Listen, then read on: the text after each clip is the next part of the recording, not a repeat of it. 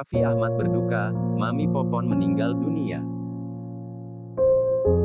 Raffi Ahmad dan keluarga tengah berduka karena Hanifah binti Dharma atau yang akrab disapa Mami Popon meninggal dunia.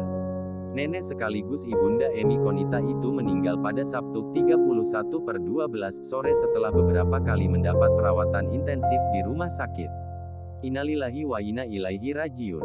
Telah meninggal dunia pukul 16 lewat 1 pada hari ini Sabtu tanggal 31 Desember tahun 2022, nenekku tercinta Ibu Hanifah binti Dharma, Mami Popon, semoga Allah ampunin segala dosa dan hilafnya, tulis Raffi Ahmad melalui unggahan Instagramnya.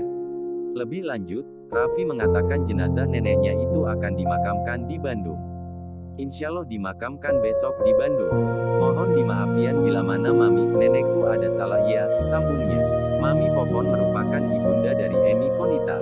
Selama ini Mami Popon tinggal di Bandung, Jawa Barat.